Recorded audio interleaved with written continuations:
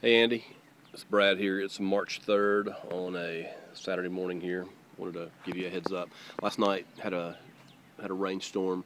You can see here that the, the pooling is is still happening in the in the back. Last night it was uh, it was a lot worse than that, and it's still it's just kind of hopping over and draining into onto my property here.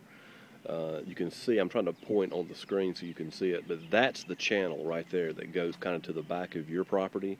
If we could cut that out uh, more substantially there, that would probably solve the majority of this. Uh, but as you can see right now, it's just kind of still coming through the same way. There's pooling happening here. You can't really see it now, but last night it was just torrential.